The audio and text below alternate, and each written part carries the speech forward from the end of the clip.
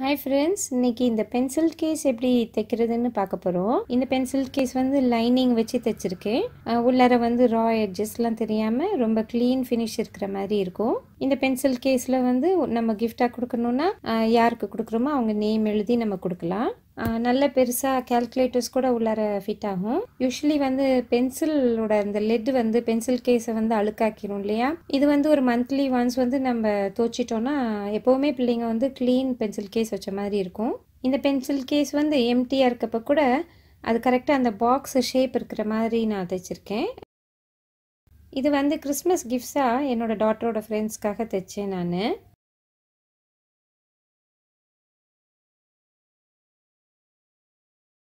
அவங்க எல்லாருக்கும் merry Christmas. அவங்க எல்லாருக்கும் வந்து உள்ளுக்குள்ளார வந்து ஒரு என் டாட்டர் பண்ண இயரிங்கு அப்புறம் ஒரு பென்சில் அண்ட் ஒரு பென்னு எல்லாம் வச்சு நாங்கள் பேக் பண்ணி கொடுத்தோம். இதான் அந்த ஃபினிஷ் ப்ராடக்டோட லென்த் வித் அண்ட் ஹைட்டு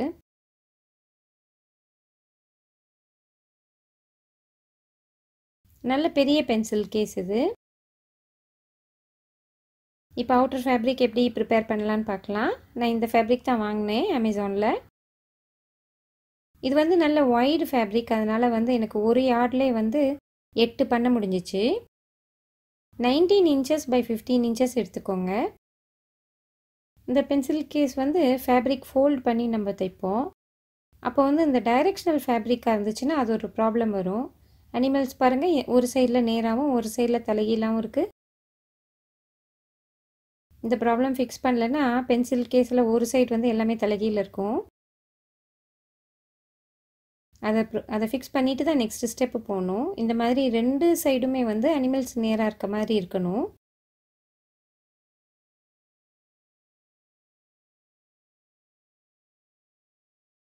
நம்ம அவுட்டர் ஃபேப்ரிக் இருக்கு இல்லையா? அதை வந்து ரெண்டாக கட் பண்ணிவிட்டு ப்ரிட்டி சைடு ஒன்று ஒன்று ஃபேஸ் பண்ணுற மாதிரி வச்சு நம்ம தைச்சிட வேண்டியதான் இந்த மாதிரி பிரிண்ட்ஸ் இருக்கிற ஃபேப்ரிக்லாம் நம்ம ஒரி பண்ண வேண்டிய அவசியம் இல்லை. டைரெக்ஷனல் ஃபேப்ரிக் மட்டும்தான் நம்ம வந்து இந்த ப்ராப்ளமை நம்ம ஃபிக்ஸ் பண்ணணும். ரெண்டு தடவை தைச்சிருங்க.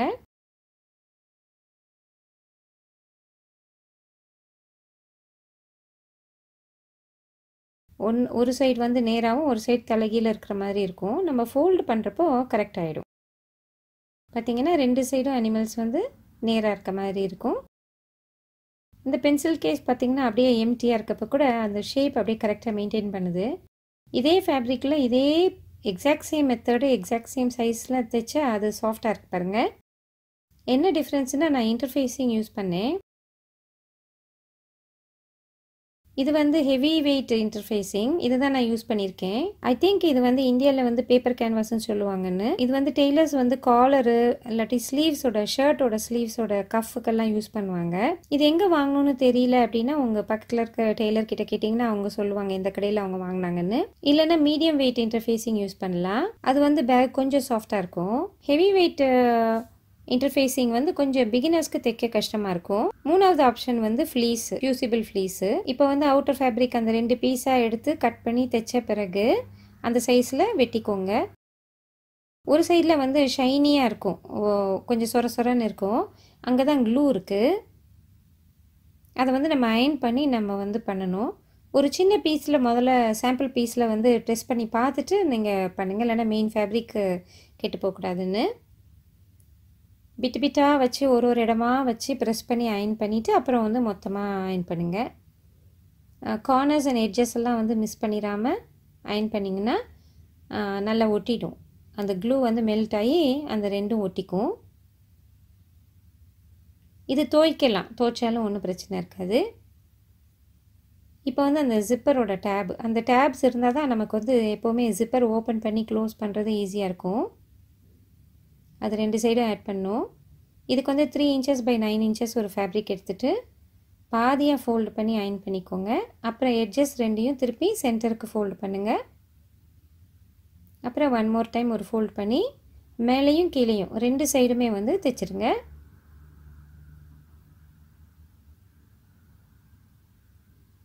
அப்புறம் ரெண்டுத்தையும் மடித்து பாதியாக கட் பண்ணி வச்சுக்கோங்க. நம்ம இதை டேப் கடைசியில் ஆட் பண்ணுவோம். இப்போ லைனிங் ஃபேப்ரிக்கில் வந்து நீங்கள் வந்து நேமோ எம்ப்ராய்டரியோ ஏதாவது போடணும் அப்படின்னா போட்டுக்கோங்க. அது வந்து அவுட்டர் ஃபேப்ரிக் என்ன சைஸ் இருக்கோ அதே எக்ஸாக்ட் சேம் சைஸ் பண்ணணும். இப்போ ஃபேப்ரிக் வந்து தின்னாக இருந்ததுன்னா இந்த மாதிரி இன்டர்ஃபேஸிங்கோ இல்லாட்டினா ஸ்டெபிலைசரோ கொடுத்து தைச்சிங்கன்னா துணி வந்து சுருங்காது.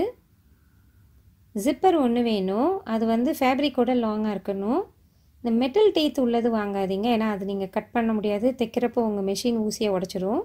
இப்போ மூணுத்தோட மிட் பாயிண்ட்டும் நீங்கள் மார்க் பண்ணிக்கோங்க. ஜஸ்ட் மடிச்சுட்டு நீங்கள் அந்த மிட் பாயிண்ட் எங்கன்றதை மார்க் பண்ணிக்கோங்க. இப்போ வந்து ஒன்று ஒன்றும் அடுக்க போகிறோம் ஒன்று மேலே ஒன்று பாட்டம் லேயர் வந்து அவுட்டர் ஃபேப்ரிக் வந்து ப்ரிட்டி சைடு அப்பாக இருக்க மாதிரி வச்சுக்கோங்க. மிடில் லேயர் வந்து என்னென்னா நம்ம ஜிப் இருக்கு இல்லையா? அதை வந்து தலைகீழ ஃபேஸ் டவுன் வந்து கீழே வைங்க. அண்ட் டாப் லேயர் வந்து லைனிங் ஃபேப்ரிக்கோட ப்ரிட்டி சைடு வந்து டவுன் அந்த மாதிரி வச்சு அந்த மூணுத்தையும் சேர்த்து ஒன்றா தைக்கணும். அந்த மிட் பாயிண்ட்ஸ் எல்லாம் கரெக்டாக மேட்ச் பண்ணுற மாதிரி வச்சுக்கோங்க. அந்த ஜிப்பரோட டீத்தை ஒட்டி நம்ம தைக்க போகிறோம் அப்போ வந்து நம்ம துணி வந்து சீம் அலவன்ஸ் வந்து அந்த ஜிப்பர் டேப் அளவு தான் வரும். அது ரொம்ப கம்மியாக இருக்குது எனக்கு அது எனக்கு வந்து கொஞ்சம் பெருசாக இருக்கணும்னு ஆசை.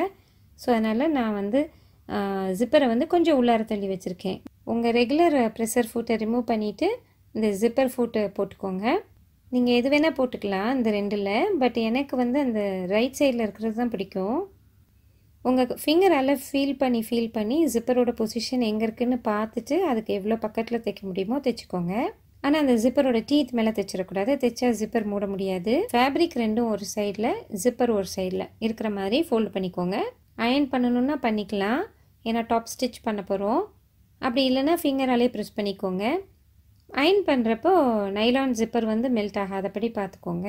இப்போ வந்து அந்த க்ளோஸாக ஒரு டாப் ஸ்டிச் போட்டிங்கன்னா இது ரெண்டும் அழகாக ஒரு சைடில் படிஞ்சு வந்துடும் அதுக்கு வந்து நீடில் வந்து எவ்வளோ தூரத்துக்கு ரைட் சைடில் கொண்டு வர முடியுமோ கொண்டு வந்துக்கிட்டிங்கன்னா அது வந்து அந்த ஜிப்பர் டீத் பக்கத்துலேயே ஒரு பேரலாக ஒரு லைன் நீங்கள் தைக்க முடியும். ரெண்டு லேயரையும் வந்து பின் பண்ணிவிட்டு அப்புறம் தைக்க ஆரம்பிங்க.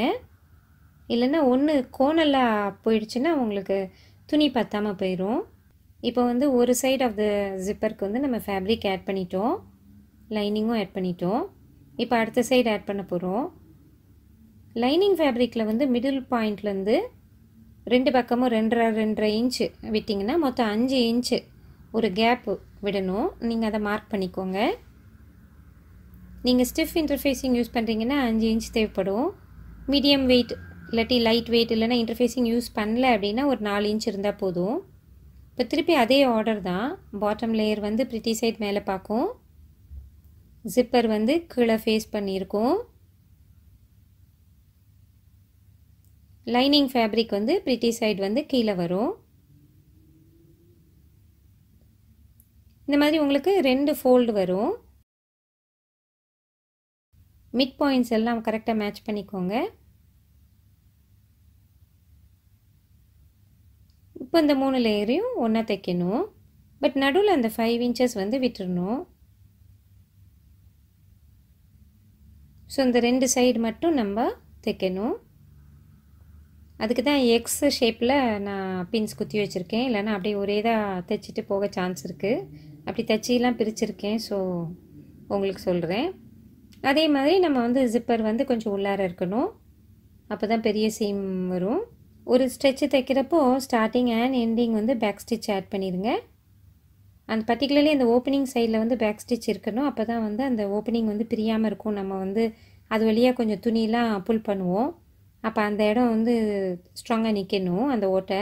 இப்போ அதே மாதிரி அடுத்த எண்ட்லேயும் அந்த எக்ஸ் நம்ம மார்க் பண்ணியிருக்கோம் இல்லையா? அது வரைக்கும் மட்டும் தைச்சிட்டு பேக் ஸ்டிச்சில் முடிச்சிருங்க. இந்த ஓப்பனிங் வந்து நம்ம கடைசியில் க்ளோஸ் பண்ணிப்போம்.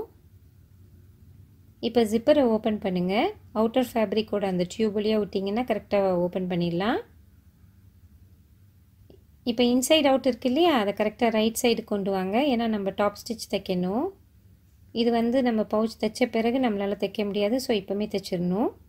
அதுக்கு முன்னாடி நீங்கள் ஜிப்பர் கரெக்டாக ஆட் பண்ணியிருக்கீங்களான்னு செக் பண்ணிக்கோங்க. இந்த மாதிரி ரெண்டு டியூப் ஒன்றுக்குள்ளே ஒன்று இருக்க மாதிரி இருக்கும்.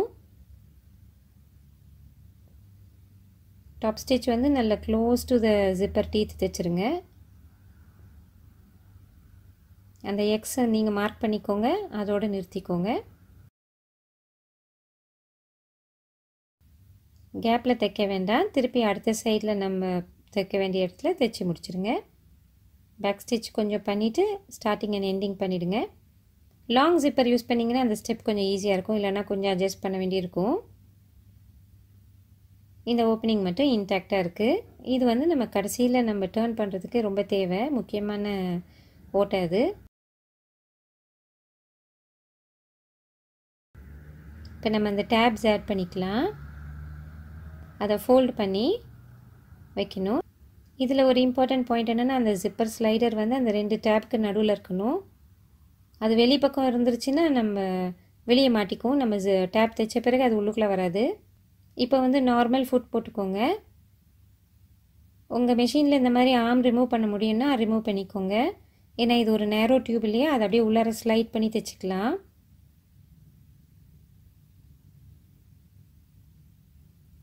இப்போ அந்த டேப் வந்து நம்ம ஜிப்பர் இருக்கு இல்லையா? அதுக்கு கரெக்டாக அலைன் பண்ணி கொஞ்சம் சரியாமல் நேராக இருக்க மாதிரி வச்சு தைச்சிடுங்க. ஒரு few times back and forth தைச்சிக்கோங்க. இதனால தான் நான் வந்து நீங்கள் மெட்டல் டீத் உள்ள ஜிப்பர் வாங்காதீங்கன்னு சொன்னேன். ஏன்னா ஊசி உடஞ்சி போயிடும் மறக்காமல் பார்த்துக்கோங்க அந்த ரெண்டு டேபோட ஃபோல்டும் வந்து உள் பக்கம் பார்த்துருக்கணும் டாப் ஸ்டிச் தைக்கிறதுக்காக தான் நம்ம வந்து இன்சைட் அவுட் இருந்ததை நம்ம மாற்றணும் இப்போ பழையபடி நம்ம போயிடலாம்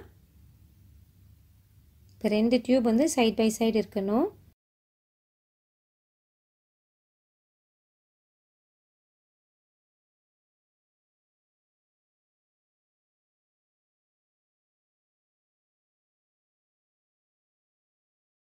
இப்போ ரொம்ப இம்பார்ட்டன்ட் ஸ்டெப்பு ஜிப்பர் ஓப்பனாக இருக்கணும். ஒரு முக்கால் அளவு வந்து ஜிப்பர் ஓப்பன் பண்ணி வச்சுக்கோங்க. ஜிப்பர் ஓப்பன் ஆகலைன்னா உங்களுக்கு வந்து ஃபைனலாக வந்து பவுச்சை டேர்ன் பண்ண முடியாமல் போயிடும் ரெண்டு ஃபேப்ரிக்கோட மிட் பாயிண்ட்டையும் ஜிப்பருக்கு பக்கத்தில் கொண்டு வாங்க.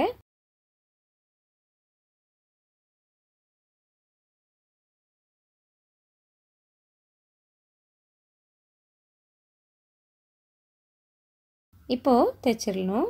அதே மாதிரி இந்த சைட்லேயும் தைக்கணும்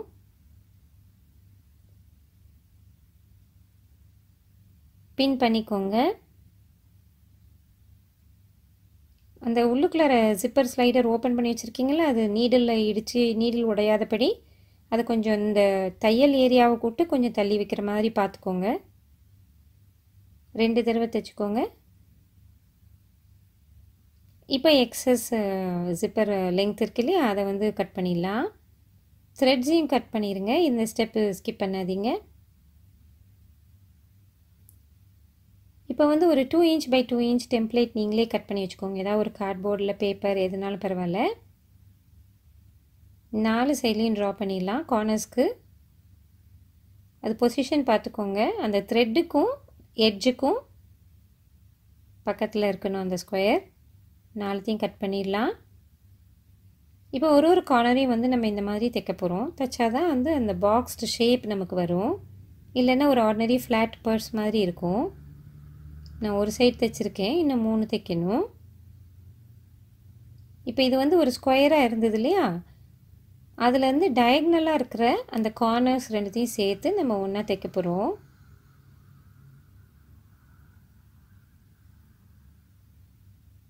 அப்போ இந்த மாதிரி வரும். கொஞ்சம் ஸ்லைட்டாக டிஃபிகல்ட் மாதிரி தெரியும். ஏன்னா நான் வந்து ஸ்டிஃப் இன்டர்ஃபேஸிங் யூஸ் பண்ணுறதுனால இது ஒன்றும் ஹார்டு கிடையாது.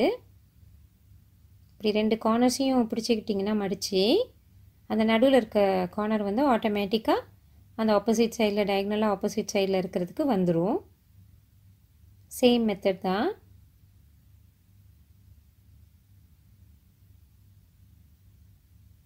இந்த கார்னரையும் அந்த பக்கம் கடைசியில் இருக்க கார்னரையும் நம்ம பிடிச்சிட்டோன்னா நடுவில் இருக்க கார்னர் வந்து ஆட்டோமேட்டிக்காக சென்டரில் வந்துடும் கொஞ்சம் ஃபேப்ரிக்கை வந்து நீங்கள் இழுத்து பிடிக்க வேண்டியிருக்கும். அவ்வளோதான் இந்த நாலு லேயரையும் ஒன்றா சேர்த்து தைச்சிட வேண்டியதான் நான் காமிச்சிருக்க மாதிரி நீங்கள் பின் பண்ணுங்கள் ஏன்னா அந்த ஃபேப்ரிக் வந்து கொஞ்சம் இழுக்கும். ஸோ நம்ம வந்து தைக்கிறப்போ வந்து நல்லா ஸ்ட்ராங்காக பின் பண்ணுறது பெட்டர் நான் காமிச்சிருக்க மாதிரி பின் பண்ணுங்கள் முதல்ல மிடில் பின் பண்ணிவிட்டு அப்புறம் ரெண்டு சைடும் பின் பண்ணிவிட்டு ரெண்டு தடவை தைச்சிருங்க அந்த இடத்துல.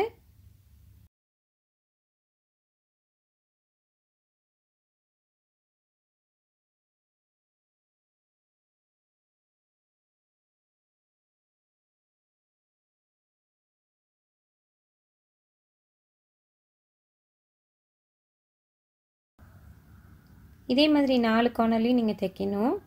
கொஞ்சம் பார்க்குறப்ப ஒரு மாதிரி இழுத்துட்டு இருக்க மாதிரி தான் இருக்கும். அப்படி தான் இருக்கணும். அந்த ஃபைவ் இன்ச் ஓப்பனிங் ஒன்று விட்டோம் இல்லையா? அது வழியாக வந்து நீங்கள் எல்லாத்தையும் வெளியே எடுத்துருங்க. இப்போ ரைட் சைடு வந்து அவுட் ஆயிரும். இப் முதல்ல இவ்வளோ நேரம் இன்சைட் அவுட் இருந்துச்சு இல்லையா? இப்போ கார்னர்ஸ்லாம் நல்லா வெளியே புஷ் பண்ணுங்கள்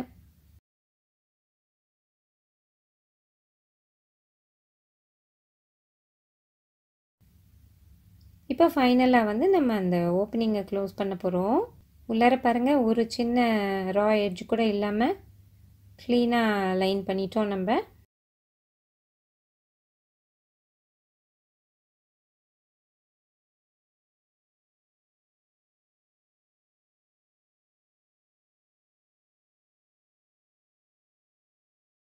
இப்போ இதை க்ளோஸ் பண்ணிடலாம். இது வந்து நல்ல ஒயிட் சீம் நம்ம விட்டோம் இல்லையா? அது வந்து இந்த ஸ்டெப்பை கொஞ்சம் ஈஸியாகும் இல்லைன்னா கொஞ்சம் கஷ்டமாக இருக்கும் இந்த இடம். பின் பண்ணிக்கோங்க. அப்போ தான் நீங்கள் கரெக்டாக எல்லா லேஸையும் நீங்கள் கேட்ச் பண்ணுவீங்க. ஒரு ஒரு தடவை தான் தைப்பீங்க. திருப்பி ஜிப்பர் ஃபுட் போட்டுக்கோங்க. பேக் ஸ்டிச் பண்ணிவிட்டு தைச்சிட்டு திருப்பி பேக் ஸ்டிச்சில் என் பண்ணிடுங்க சேனல் பிடிச்சிருந்துச்சின்னா சப்ஸ்கிரைப் பண்ணுங்கள் வீடியோ பிடிச்சிருந்துச்சின்னா லைக் பண்ணுங்கள் ஷேர் பண்ணுங்கள் தேங்க்யூ ஃபார் வாட்சிங் பாய்